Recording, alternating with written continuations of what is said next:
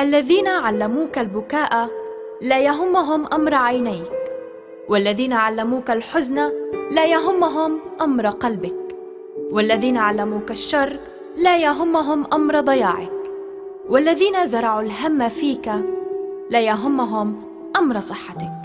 لذا أطلق سراحهم من دائرة اهتمامك.